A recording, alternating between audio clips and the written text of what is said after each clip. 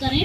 तो देखिए अभी ऊपर की तरफ़ अभी भी स्काई कितना प्यारा सा लग रहा है। वाइट वाइट देन ग्रे बहुत ब्यूटीफुल सा लग रहा है और मौसम भी बहुत ज़्यादा प्यारा है। और अभी मैं आप लोगों को हाँ, कुछ स्पेशल भी डिस्कस करने वाली हूँ आप लोगों से। बट एक चीज़ और दिखाती हूँ मैं। गाइस यहाँ पर भी जो मेरा पिजन वाला जो सेटअप है उसके ऊपर ऐसा कुछ खास तो नहीं है लेकिन बट बाकी मैंने उसके ऊपर एक अब देखिए, इधर दिखाती हूँ। यहाँ पे मैंने इसके ऊपर पिन्नी लगा दी है। तो यार ऐसा होता है कि मतलब उससे पहले ये भीग जाती थी और थोड़ा अब ये जो मेरे पिजन्स हैं, ये भी थोड़ा इरिटेट होते थे। तो अभी मैंने ये पिन्नी लगा दी है तो देख रहे होंगे आप लोग। बिल्कुल सूखा सूखा है।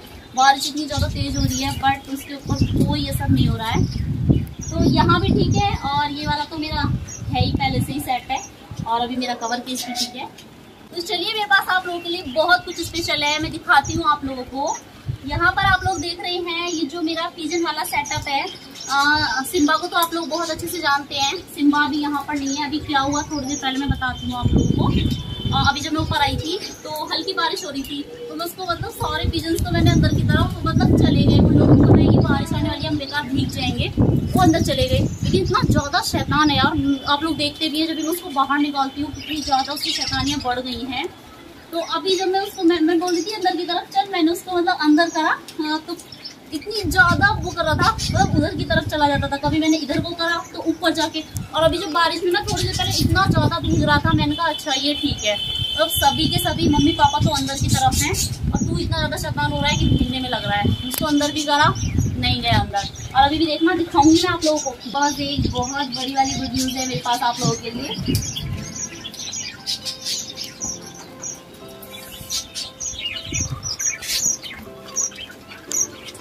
तो गाइस गुड न्यूज़ आप लोगों के सामने है। मैंने आप लोग देख भी रहे होंगे।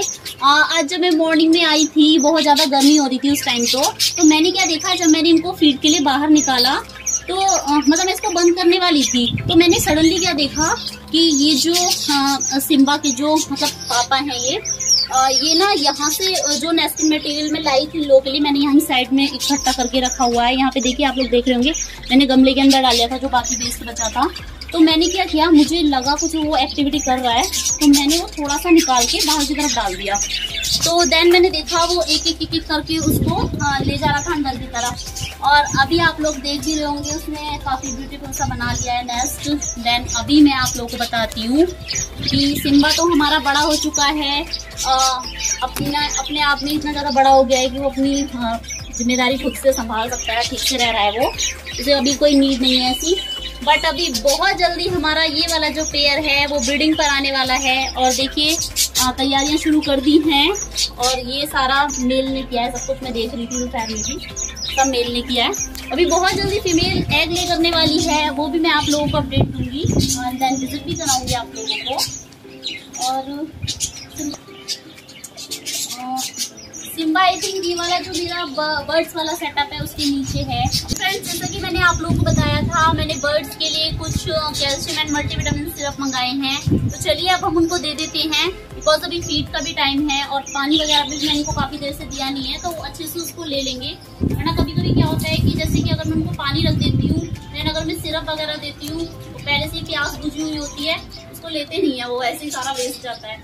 मैंने पानी नहीं दिया उनको। तो अभी मैं दे दूँगी, बाकी मेरी फ़ीस का भी टाइम है। और एक्चुअली क्या है कि अभी थोड़ा रेनी सीज़न है, बारिश वगैरह भी है। तो इससे पहले कि बर्ड्स को कोई नुकसान हो तो पहले हम सिर्फ़ दे देते हैं उसके ठीक रहेंगे वो भी। दैन बेबीज भी ठीक रहेंगे। तो चलिए पहले सिरप देते हैं उनको।